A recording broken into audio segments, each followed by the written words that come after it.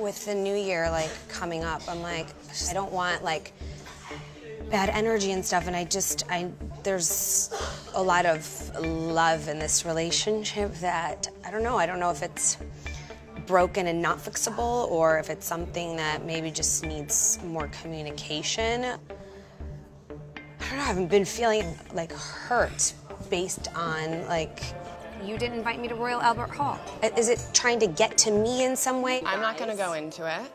Okay, but I want to go into it. Okay, fine. When I try and do nice things to you, it backfires. That's what I feel like. I feel like I tried to host your Thanksgiving dinner.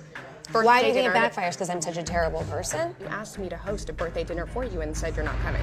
Caroline kind of said, I want to do it at my house. Why I- Caroline's house? It feels like home. I mean, listen, if you don't want to come, don't come. And I'm sorry that I did that.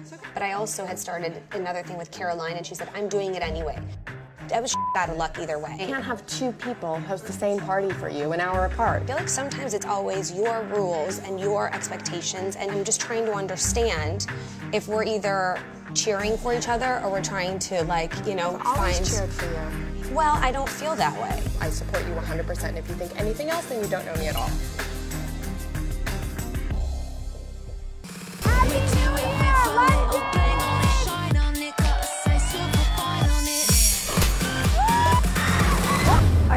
Ridiculous.